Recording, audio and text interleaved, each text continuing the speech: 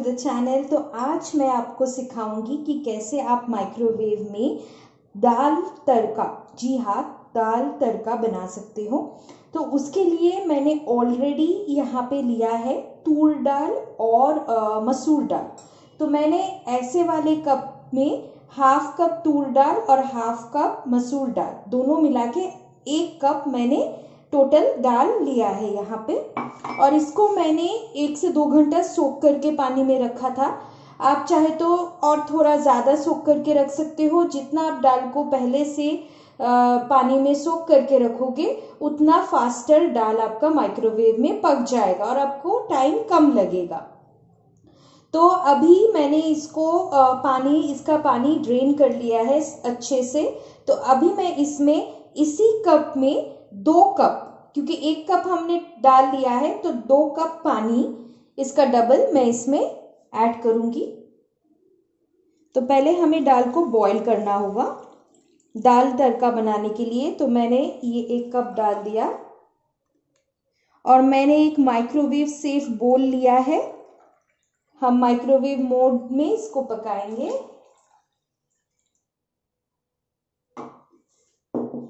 तो मैंने दो कप पानी ले लिया है। अभी मैं इसमें डालूँगी नमक। इसका क्वांटिटी आप अपने हिसाब से यूज़ कर सकते हो। और मैं डालूँगी हल्दी पाउडर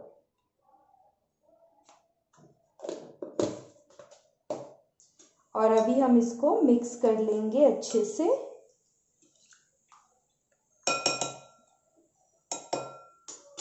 तो अभी हम इसको माइक्रोवेव के अंदर डालेंगे और दाल को पहले बॉईल करेंगे। तो अभी हम इस बोल को माइक्रोवेव के अंदर डालते हैं।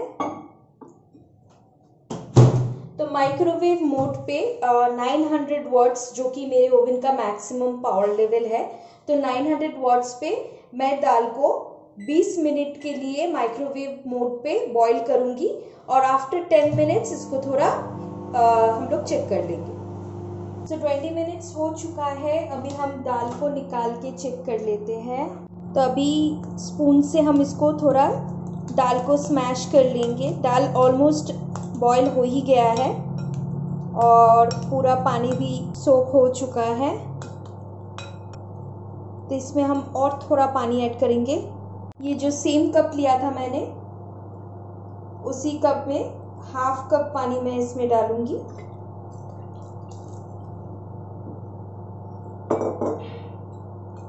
और इसको हम फिर से एक बार मिक्स कर लेते हैं। और मैं स्पून से ही इसको दाल जो है अच्छे से स्मैश कर दूँगी ताकि एक सिल्की स्मूथ टेक्सचर आ जाए। तो अभी हम इसको एक साइड में रख देते हैं और दाल तड़का के लिए हम लोग तड़का रेडी करते हैं। तो जब तक हमने दाल को सेट होने के लिए रखा है, दाल तड़का के लिए तड़का रेडी करते हैं तो मैंने और एक माइक्रोवेव सेफ़ बोल ले लिया है। अभी मैं इसमें डालूँगी ऑयल मैं यूज़ कर रही हूँ mustard oil around two two three tablespoon और अभी इसमें मैं स्पाइसेस डालूँगी हाफ़ एक ऐसे वाला एक एक तेज पत्ता बे लीफ और फिर मैं इसमें एक रेड ड्राई चिली इसको डाल दूँगी। और फिर मैं डालूँगी जीरा।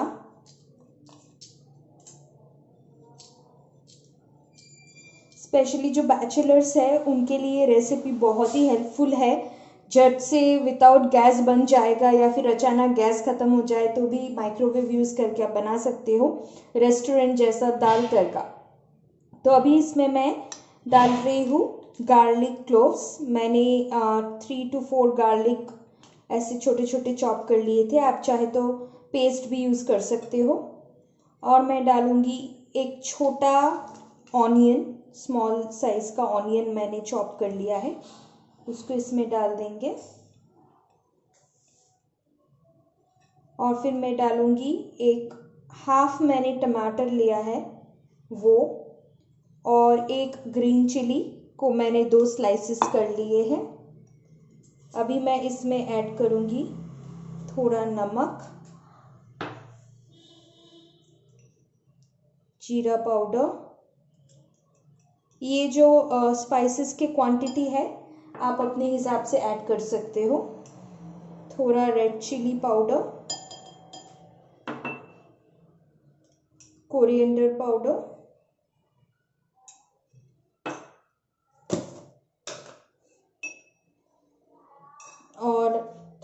हल्दी। हल्दी हमने ऑलरेडी दाल बॉईल करते टाइम ऐड किया था तो ज़्यादा अभी ऐड नहीं करना है। अभी हम इसको थोड़ा मिक्स कर लेंगे।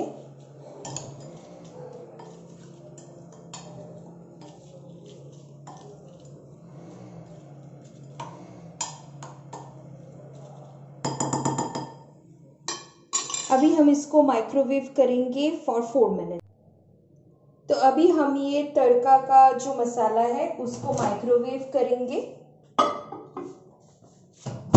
तो अभी 900 हंड्रेड वर्ड्स पे फोर मिनट्स के लिए मैं माइक्रोवेव मोड को यूज़ करके इसको पका लेंगे।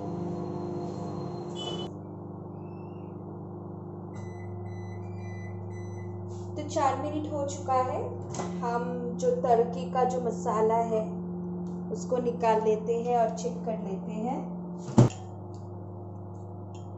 तो आप देख सकते हो, जो टमाटर है, वो अच्छे से स्मैश हो गया है और ऑनियन और ये जो ग्रीन चिली सब कुछ अच्छे से फ्राई हो चुका है।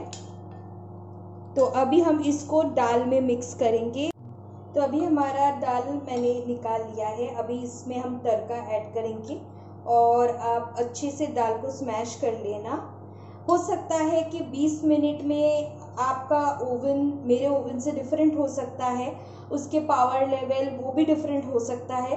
तो मेरा दाल तो 20 मिनट में पक गया, हो सकता है आपका ना पके तो आप दो तीन मिनट और रख लेना।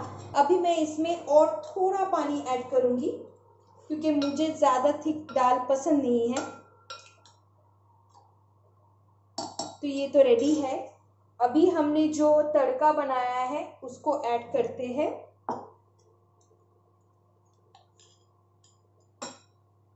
अभी हम इसको मिक्स कर देते हैं तड़के के साथ।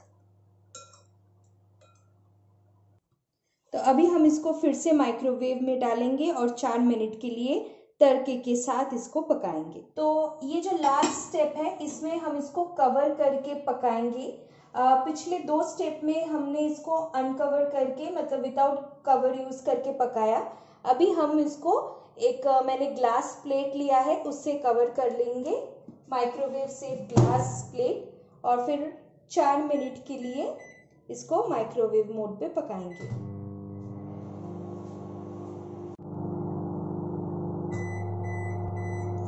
तो चार मिनट हो चुका है। हम दाल को निकाल लेते हैं।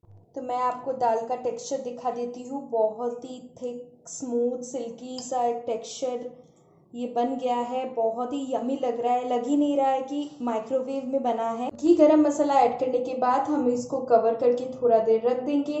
फिर आप इस दाल तड़के को रोटी के साथ या चावल के साथ एंजॉय कर सकते हो। अगर ये वीडियो अच्छा लगा है तो लाइक करना मत भूलिएगा। और हबी को फेसबुक इंस्टाग्राम में फॉलो कीजिए। अगले वीडियो तक बाय